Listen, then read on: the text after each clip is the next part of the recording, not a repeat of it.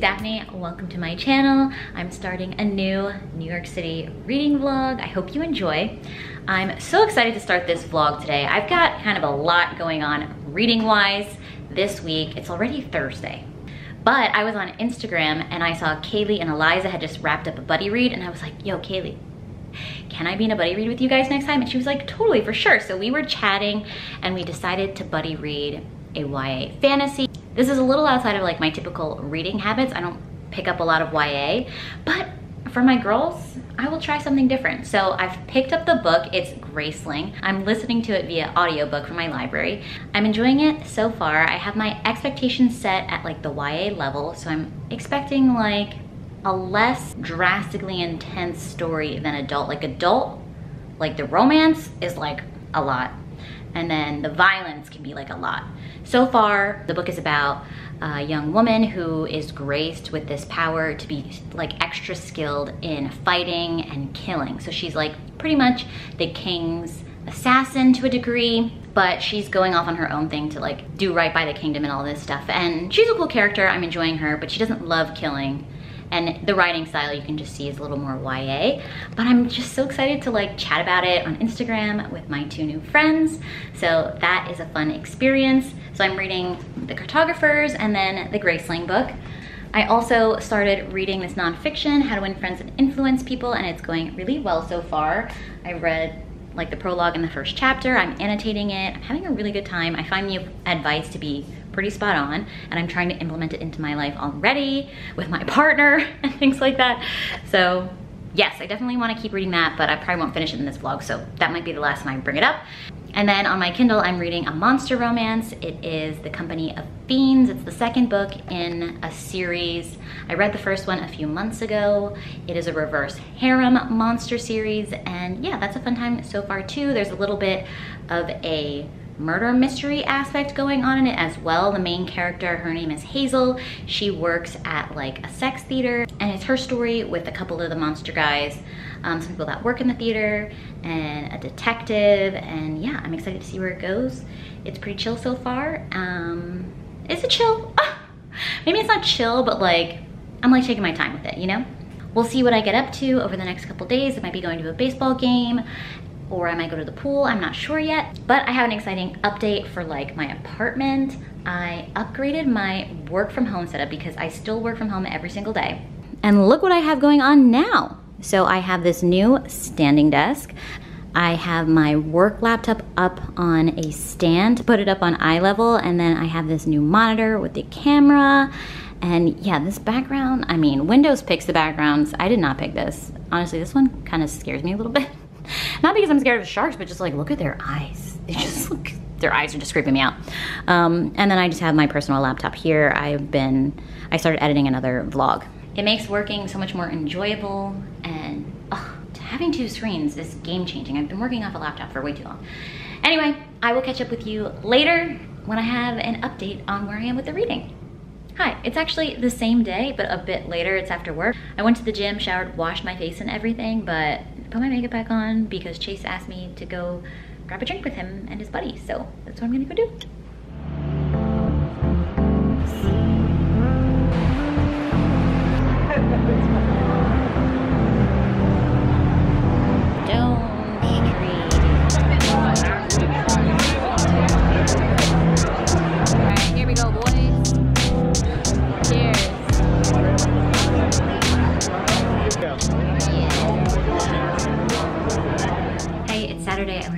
Reading update. I've been listening to Graceling. I'm like 40% in and I'm enjoying it quite a bit. Um, I will say our main hero, Katsa, has like anger problems.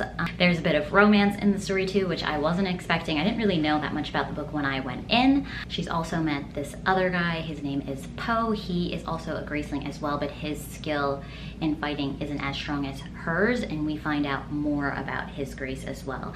There's some complexity behind that, and they have this attraction towards each other that is developing on the story. Now they're going on this little adventure. Po's grandfather was kidnapped and they're trying to figure out what the motivation behind that was and what secret maneuverings are going on within the realm, within the other kingdoms and kings and political stuff.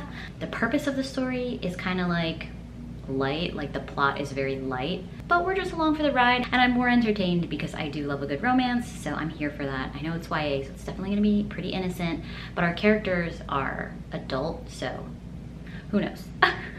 and then speaking of adult books, I have made a lot of progress in Company of Fiends as well. I think I'm about 40% of the way through that. And it's a really fun time. I really like our main heroine. Her name is Hazel, like I've said. I like her more than the heroine in the first book in this series because she doesn't like instantly fall in love with her men. Each relationship with each man is very unique and different. And unlike this other reverse harem vampire book I read recently by Katee Roberts, each man has like depth and complexity and feels more fleshed out and real. So I'm really having a good time with it and I'm excited to see where the mystery part of the plot goes. I'm excited to see how her relationships with each man evolves um, because each one is com complicated and yeah, it's a good time. So I'm about to head out to Hoboken to hang out with Ina. Originally we were gonna go to the pool, but it's very cloudy, like rainy on and off day. So we're just gonna go to Hoboken, go to the pier, get some drinks, and just hang out and have a good time. Probably go back to her place, meet up with a couple more friends, and I'll just see where the night takes me. Chase isn't hanging out with us. He's got like another concert. He's been to like four concerts in the last three weekends, so and I don't care about concerts as much as he does, so I just pass. But yeah, we did go out to dinner together yesterday. I didn't vlog it though. All right, so let's go out.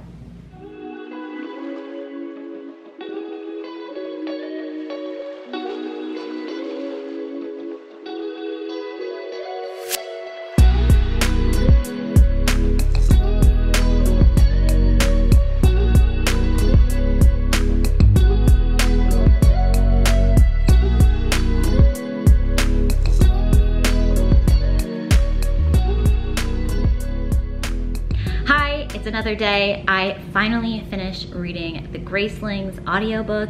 I ended up giving it three stars. It was a pretty fun time. You know, I went in understanding that it was YA and the romance was only gonna go so far, but all that in consideration, I enjoyed the romance storyline and had the best time reading it with Kahli and Eliza. We were talking about it on Instagram and stuff, so my first like official YouTube buddy read and I had a blast. I will say the plot part with like the villain kind of resolved very quickly and in my opinion, too much of it was like traveling. We were just like in the woods traveling for maybe 60 plus percent of the book. And then whenever we got to our destinations, things just like happened really fast and resolved really quickly. So, but at the, at the end of the day, it's mostly about the romance, I guess. And that part I really liked. I'm pretty confident I read this in middle school because I just vividly remember Po. I didn't remember his name or anything about the story, but I just remembered he had one golden eye. He has a one gold eye and one silver eye, and I was like in love with him. And I just remember him being in the woods. And I was like, it had to be this book. so that was fun too and nostalgic. Though at times I will say, I wasn't sure if I was remembering the plot or if the plot was just that easy to guess. I think it was probably a mix of both. But yeah, three stars. Now I'm reading The Cartographers. I'm already a third of the way in. I put it on pause while I was listening to the Gracelings book, but I'm really enjoying this so far. It's very like subtle in the way the mystery is being unraveled. Like I still don't know anything, but like you start to figure out who the players are in the game and I'm just like reading it last night. I'm like, Francis, you know, like Just heard about Francis word of mouth from this other person and then all of a sudden he's there and I'm like, what? And there's definitely magical stuff going on. Like people are just vanishing out of thin air. And yeah, I'm just like really intrigued. There are also images in here. So they have like the map from 1910 of the New York Public Library and like the street. And I just love that too. I was not expecting pictures. I'm very entertained, even though it's very subtle. Like not a lot is happening, but like, I keep gasping. I don't know why I keep gasping. I'm just like really into it. I, I catch myself like reading, I'm like, what? You know, so it's getting good emotional reactions out of me, so I'm having a good time. And then the last book that I already mentioned in this vlog, The Company of Fiends, I'm about 65% of the way through. It's a very long book, it's like over 500 pages. I'm enjoying it a lot. I like how all the men are very unique. They have like this imp named Ronan, so he's basically like what you would imagine a demon looks like. He's red, he's got horns, he's got like bat wings, and then there's this guy with like six arms, and then there's another guy who's an orc, so he's like this big green warrior gentleman guy, and then there's this demon called the Gemini, and he splits into two people, and one causes a lot of pain and one causes a lot of pleasure. There's also a detective who's half human, half fae, and he has these beautiful like shadow wings that he keeps hidden. And she, Hazel, is like getting to know all of these men and wasn't like planning on being in a reverse harem, but the guys are like so in love with her that they're like, we'll make this work. So we're kind of in that part of the story. There's still the murder mystery thing going on, but that's slowly being unraveled. That part is like whatever, whatever. Like it keeps the thread line for the story and it gives like the story purpose. But it's about Hazel and her falling in love with all these different guys and how much they love her and how unique they are. And I'm having a great time. Yeah, I would definitely recommend this if you like reverse harem monster romances in particular. And you don't need to read the first book in this series. They're definitely standalones. I'm not done yet, but I already know that. okay, I will catch you later. Hey, it is later in the day. I have the window open. It's very hot. There's like a risk of a blackout, so I don't have the AC running because I'm a nice person and I don't want to be like contributing to the blackout or whatever. But anyway, I got some exciting book mail. I took advantage of the Amazon Prime Day sale and got the Mistborn trilogy for like almost 50% off, I think. I think I got it for like 18 bucks, the three books. Um, they're in mass market paperback and I haven't read a Brandon Sanderson before, but I really want to try it out. These aren't my favorite covers either, but whatever. So it's the first one, Mistborn, the second one, The Well of Ascension, and the last one, The Hero of Ages. I think it's like an extended series. I think there's like Mistborn series, like the first part and then maybe there's another part. I don't, I don't know the drama of it. But yeah, I'm really excited to have picked that up so I can finally try Brandon Sanderson's work and his stuff is like not really available at the library. Like some of them are in audiobook, but I don't want to listen to them on audio. So now I have my own copies and hopefully I like the first one because I've committed to the whole series. So, and funnily enough, I just posted my book haul video. So this one will be going in the next round of book hauls. Hi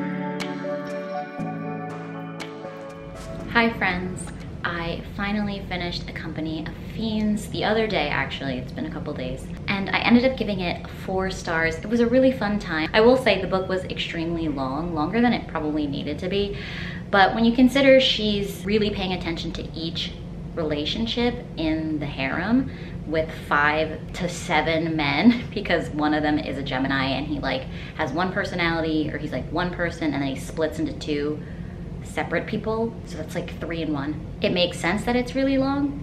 There is an overarching like enemy in the series, this guy Bersha, so it went into that again. Um, that part is like interesting enough, but it's not like my favorite. I'm just kind of like trying to get through it. I will say I didn't really skim that much in this book so that's good as well.